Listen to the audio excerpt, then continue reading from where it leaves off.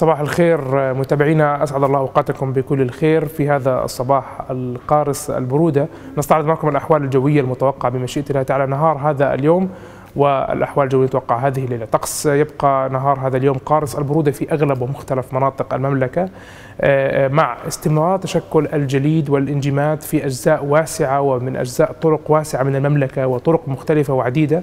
لذا ندعوكم إلى الانتباه أقصى درجات الحيطة والحذر أثناء المسير على الأقدام أو بالمركبات خلال الساعات القليلة القادمة بالرغم من مرورنا في ساعات النهار ودخولنا في ساعات الظهيرة لأن بعض مناطق تبقى تحت تأثير هذا الانجماد والجليد إذا طقس يبقى قارس البرودة ولكن هناك بعض التغييرات في الحالة الجوية بعيد ساعات من بعد الظهر حيث تكون الفرصة مهيئة لاحتمالية بعض الزخات الثلجية سيما في ساعات بعد الظهر والعصر من نهار هذا اليوم.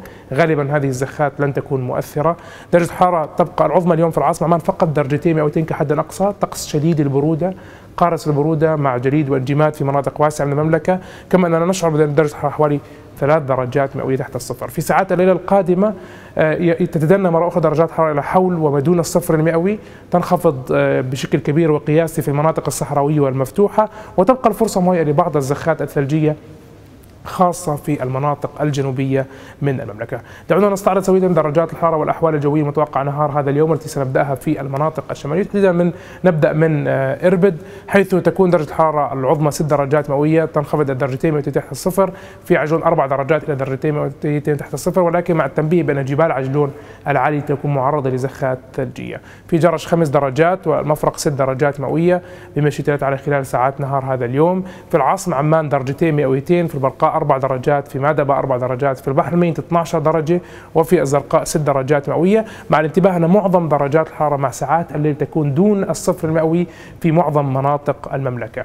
في المناطق الجنوبية من المملكة في نبدأ في الطفيلة أربع درجات اليوم في الكرك درجتين مئويتين في معان خمس درجات مئوية نهارا وفي جبال الشراء والشبك درجتين مئويتين. لكن التأكيد بأن درجات الحرارة في ساعات الليل أيضا تنخفض إلى ما دون الصفر المئوي. الأمر الآخر هناك فرصة لتساقط الثلوج على فترات فوق عموم جبال الشراء في العقبة اليوم العظمى 17 درجة مئوية تقريبا هي بمنأى عن تأثير الكتلة الهوائية القطبية وفي ساعات الليل تنخفض إلى 7 درجات مئوية بمشيئة الله تعالى.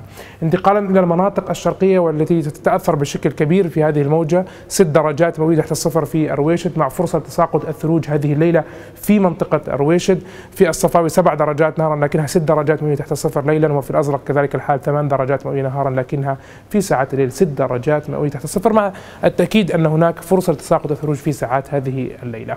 قبل الختام هناك توصيات هامة.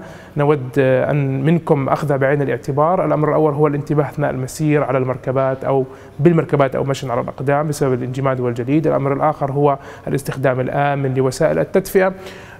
والأمر الأخير هو حماية المزروعات أو المواشي أو حتى مركباتكم من خلال مانع التجمد خلال ساعات هذه الليلة وعدم الخروج في المناطق المفتوحة والصحراوية إلا للضرورة.